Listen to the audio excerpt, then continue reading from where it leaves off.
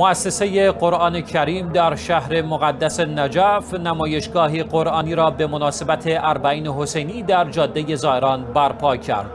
مؤسسه قرآن کریم وابسته به مجتمع علمی قرآن کریم برای دومین سال متوالی نمایشگاه سالیانه مراسم اربعین را در چارچوب برنامه آموزش قرآن برای زائران اربعین برپا کرد.